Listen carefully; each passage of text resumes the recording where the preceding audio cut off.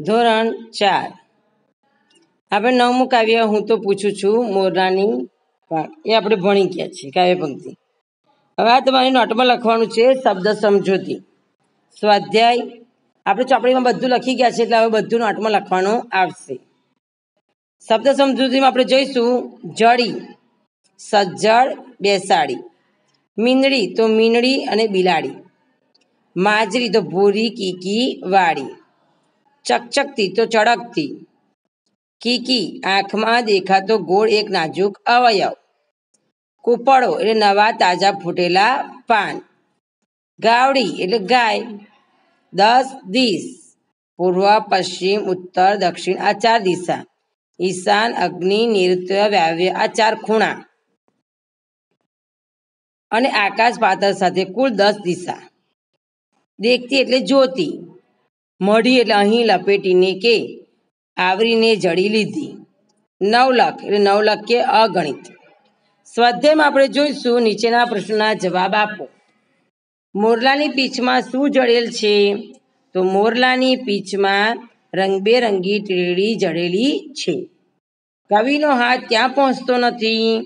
તો કવિનો હાથ આબાની ટોચે પહોંચતો નથી. ચાંદાની થાળીમાં કોની ઝૂંપડી મળેલી છે? ચાંદાની થાળીમાં બકરી અને ડોસાની ઝૂંપડી મળેલી છે. કવિ આંખ વિશે શું વિચારે છે? કવિ આંખ વિશે વિચારે છે કે પોપચામાં મળેલી અને દસે દિશામાં દેખતી મારી આંખ કોને કરી હશે? કવિ આભલાની ચૂંદડી કોને કહે છે? કવિ નવલખ તારાની મઢેલા આભલાની, આભને આભલાની ચૂંદડી કહે છે. ઉદાહરણ મુજબ વાક્ય બનાવો. ધરતી. બધાને લીલીછમ ધરતી જોઈને આનંદ થયો. પેન્સિલ, પેન્સિલથી લખવાની મજા આવે. રબર, પેન્સિલ સાથે રબર રાખવું જ પડે.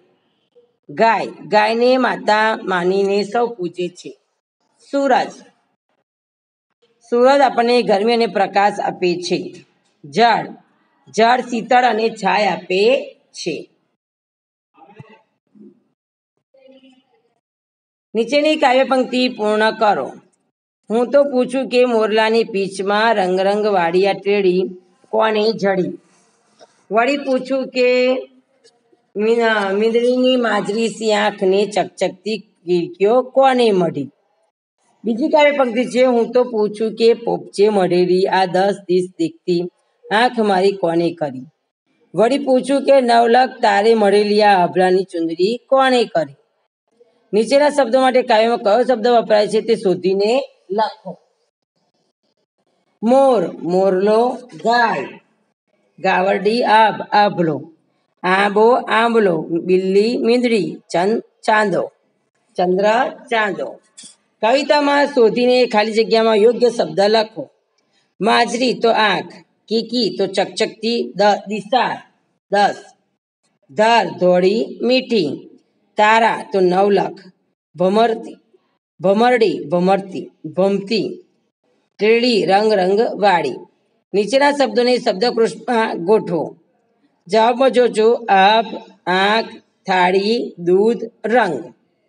ધોરણ ચારને શબ્દ સમજૂતી અને સ્વાધ્યાય નોટમાં એકવાર લખવાનું છે. આ તમારું લેસન છે. અલ્લાહ હાફિઝ.